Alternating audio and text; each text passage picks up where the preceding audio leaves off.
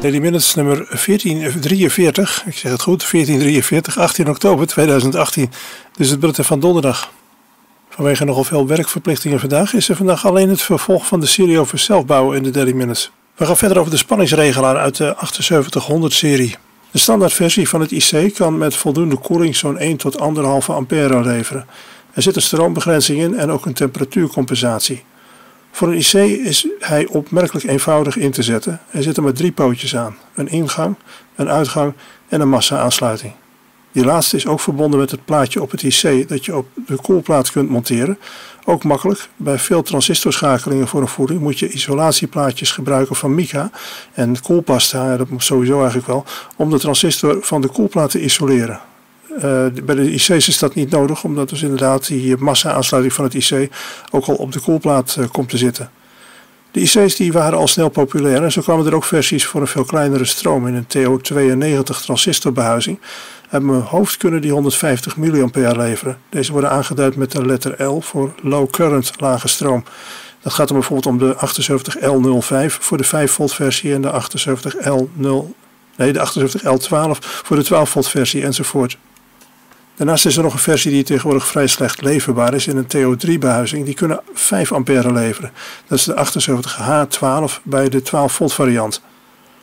Er zijn een hoop trucjes met componenten om de 7800 heen bekend. Een aantal ook door de fabrikant in de datasheet beschreven. Als je niet de juiste spanning hebt, maar wel een lagere spanning van dezelfde chip, dan kun je tussen de massa en de massa-aansluiting van het IC een zenderdiode zetten.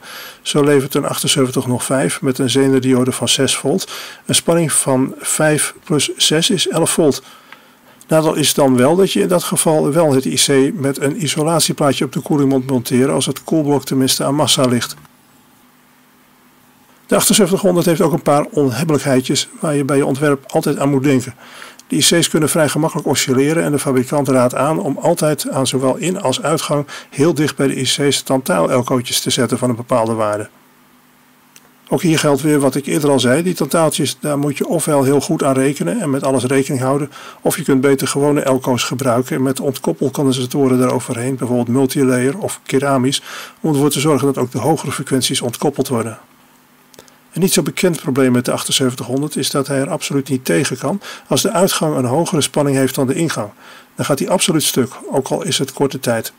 Dan zul je misschien denken dat dat niet zo makkelijk voorkomt, maar als je aan de ingang van zo'n IC een kleinere elko hebt zitten dan er op de uitgang komt, of als de elko aan de ingang zich eerder kan ontladen, dan zit je al met dit probleem. Wanneer je het IC in een voeding of een adapter hebt zitten waar je allerlei zaken op kunt aansluiten, dan kun je ook niet weten hoeveel elko's er in de aangesloten apparaten daarachter nog zitten.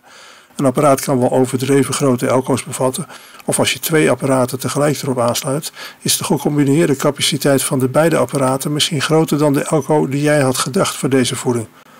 Hiervoor is een eenvoudige remedie. Schakel een wat grotere diode over de in- en uitgang van het stabilisator IC heen, bijvoorbeeld een 1N4007. De kathode die komt aan de ingang en de anode aan de uitgang. Wordt nu op de uitgang de spanning hoger dan de ingang, dan gaat de diode geleiden en loopt stroom door de diode vanwege de hogere spanning eventueel weg. En daarbij wordt in elk geval de spanning op de uitgang nooit meer dan 0,7 volt hoger dan op de ingang. En daar kan het IC gewoon tegen. Ten slotte is een 7800 IC niet beveiligd tegen overspanning. Hij kan stuk gaan, maar ook als de aardaansluiting losschiet, kan de uitgang naar de spanning gaan die ook op de ingang staat. Bij 2 volt verschil is dat in een aantal gevallen misschien nog niet zo erg, maar bij een hogere spanning kan de bol dan wel snel kapot gaan. It all started in 1906. Hello? Come celebrate 100 years of voice over the airwaves with ham radio.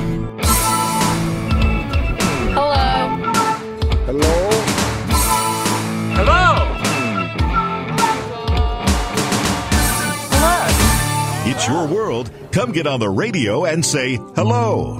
Daily Minutes zijn dagelijks vanaf ongeveer 1900 uur te beluisteren. De uitzending wordt een dag later om half elf 's ochtends herhaald. Alle mail is welkom op het adres x xdv.me. Dat is ook te vinden rechts bovenaan de webpagina van de uitzendingen www.pa0ete.nl. De Daily Minutes toont iedere dag weer aan de hand van schokkende voorbeelden hoe een hobby mensenlevens kan veranderen. De internetfaciliteiten en studiohardware voor Daily Minutes worden gesponsord door 70mhzshop.nl. 70mhzshop.nl. De Daily Minutes is nadrukkelijk niet geschikt voor alle leeftijden of voor mensen met een zwakke maag. En microfoon naar retour.